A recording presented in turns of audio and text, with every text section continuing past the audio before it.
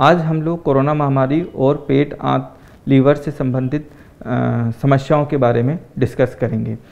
Corona के लग, corona के जो मरीज़ होते हैं, उनमें लगभग 15 से 20 प्रतिशत लोगों में पेट में दर्द और दस्त होना मुख्य लक्षण होते हैं, जिसे हम फ़ूड पॉइजनिंग करके डॉक्टर से संपर्क में नहीं आते हैं और ओवर द काउंटर ड्रग्स लेके हम इसका इलाज करते हैं। जो इसका प्रीसियस समय होता है कोरोना को ट्रीट करने का, इससे हम वो खो देते हैं। अगर हमें इस तरह के कोई सिम्टम आते हैं स्पेशली अगर हमारे परिवार में एक से ज़्यादा लोगों को इस तरह के सिम्टम्स आ रहे हैं तो इसको हमें कोरोना मान के डॉक्टर से संपर्क करना चाहिए। इसके अलावा इस महामारी में पेट, आंत कई और तरीके से भी प्रभावित हो रहे हैं। फॉर एग्ज़ाम्पल कि बहुत सारे पेशेंट्स को आयुर्वेदिक मेडिसिन ले रहे हैं, बहुत अलग अलग तरह का काढ़ा पी रहे हैं। इसके अलावा जो मेडिसिन जो पेशेंट कोरोना के पेशेंट हैं, वो कई तरह की एलोपैथिक मेडिसिन भी ले रहे हैं। इन सभी से पेशेंट की पेट आंत में समस्याएँ उत्पन्न होती हैं।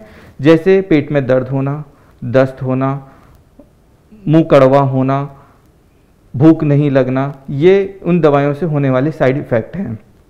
आप इन साइड इफ़ेक्ट अगर आपको होते हैं तो हमें इससे घबराना नहीं चाहिए। अपने डॉक्टर से मिलना चाहिए। वो दवाइयों में कुछ इस परि, इस तरह से परिवर्तन करते हैं कि वो आपके साइड इफ़ेक्ट या तो कम हो जाते हैं या पूरी तरह से डिसअपियर हो जाते हैं। तीसरी चीज़ हमें जो ध्यान रखनी है वो है कि कोरोना महामारी के उसमें हमें बहुत ज़्यादा स्ट्रेस होता है। स्ट्रेस होता है हमारी बीमारी को लेके, आगे आने वाले और दिक्कतों को लेके, या बहुत सारी दवाइयों को कि किस तरह से इन दवाइयों को हम लें। हमें इस स्ट्रेस से बाहर निकलना चाहिए पॉजिटिव थॉट्स रखनी चाहिए। स्ट्रेस से पेट में बहुत ज़्यादा मात्रा में एसिड और गैस बनता है, जो हमारी परेशानी को बनाता है। हमें तेज़ मिर्च मसाला, तली हुई चीज़ें कम खानी चाहिए। अच्छे फ्रेश फ्रूट वेजिटेबल्स दही, इनका सेवन ज़्यादा मात्रा में करना चाहिए और थोड़ा थोड़ा बार बार खाना चाहिए।